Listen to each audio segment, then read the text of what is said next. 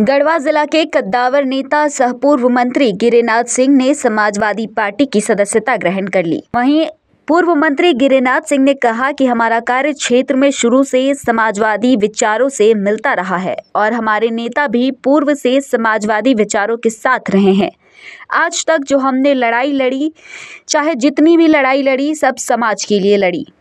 देखिए, हम लोग जयप्रकाश जी के आंदोलन से जुड़े हुए हैं। जयप्रकाश जी को जानते थे?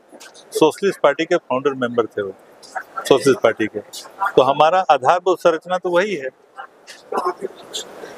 और मैं राष्ट्रीय जनता दल में था तो हमारा काम करने का तरीका समाजवादी ही था।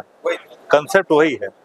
हम लोगों के नेता रहे हुए हैं, स्वर्गीय रघुवंश प्रसाद सिंह, जो कर्पूरी जी के परम शिष्य थे बुनियादी हम लोगों का समाज समाज का जो आज पीडीए हमारे राष्ट्रीय अध्यक्ष, जिस पार्टी को मैंने आज ज्वाइन किया है अखिलेश जी, आप देखें ना पीडीए क्या मतलब होता है? पिछड़ा दलित अकलियत उत्तर प्रदेश में जादू चला ना, कितना लोग उत्तर प्रदेश को बाउंडर बनाए हुए थे? आधा आधी हो गया। कहने का तात्पर्य है कि जो कंसेप्ट है समाजवाद का, वह निश्चित रूप से हम लोग अपने कामों से लाने का प्रयास करते हैं। और आप लोग कोई बाहर के नहीं है, यहीं का स्थानीय पत्रकार हैं। हम लोग किसकी राजनीति करते हैं यहाँ, गढ़वा में? बहुत स्पष्ट हम कहना चाहेंगे। राजनीति करते किसकी है?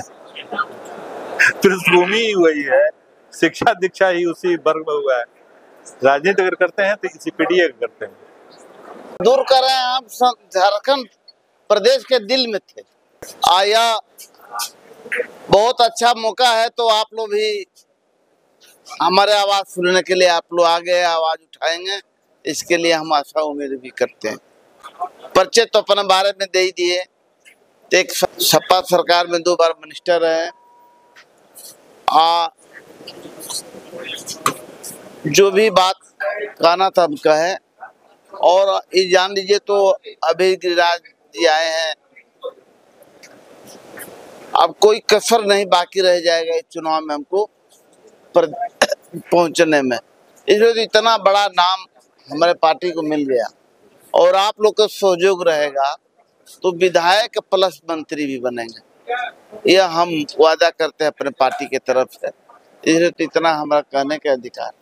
छियालीस रुपया अभी तक मिल गरीबों, नौजवानों के हम व्यवस्था करेंगे। अभी तो जो घोषणा पत्र हमारा आ रहा है, आप लोग भी जानते हैं तो जो घोषणा पत्र में रहता है, वो समाजवादी पार्टी मानती वो हम नेतन के एक बहुत बड़ा वादा होता है, जो घुबरा पत्र में होता है।